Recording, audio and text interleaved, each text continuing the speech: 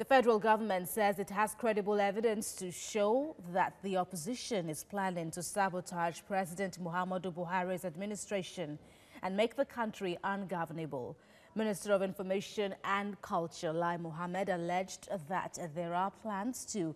cause mayhem in the country by exploiting the fault lines of religion and ethnicity. He urged Nigerians not to relent in praying for the country, especially in the run-up to the May the 29th second term inauguration of President Buhari. The minister was speaking at the annual Ramadan lecture held at his hometown, Oro, Kwara State. I make this request that all for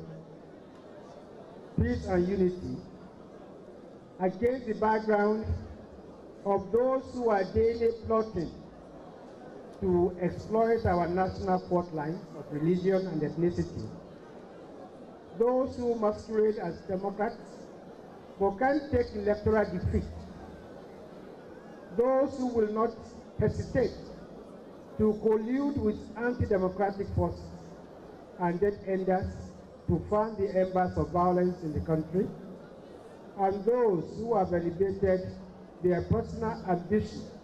over and above our survival as a nation. The food system itself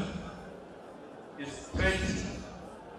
across the length and breadth of the country because the participants in the food chain, the farmers, the fishermen, those in the livestock sector,